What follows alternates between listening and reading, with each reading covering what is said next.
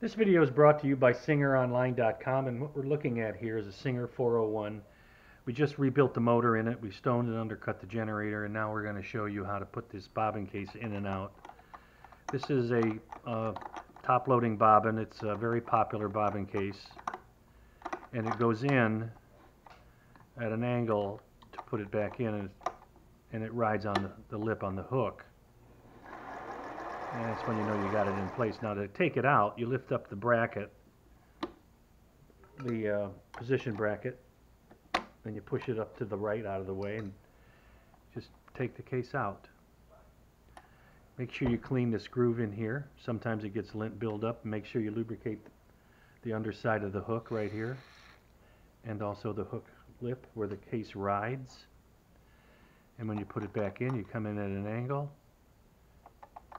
Put it over there till it stops. You move it clockwise until it stops. And move the bracket back over. You want a little bit of play in it. So the thread can pass through right here. And then that's it. So this is brought to you by SingerOnline.com. Thank you very much.